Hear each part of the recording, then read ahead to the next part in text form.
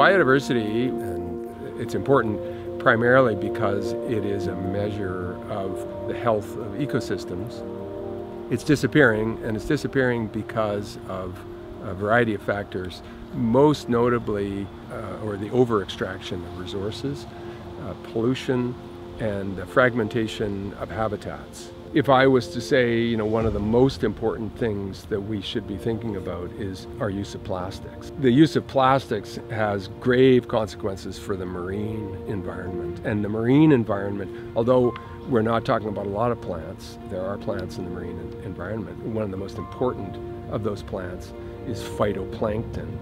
And uh, if phytoplankton, if we start to lose phytoplankton on a fairly massive scale, uh, then that's actually going to uh, really endanger our lives directly.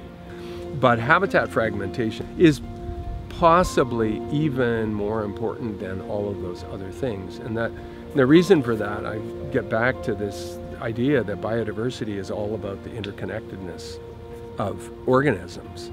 And when we fragment our ecosystems, we reduce biodiversity.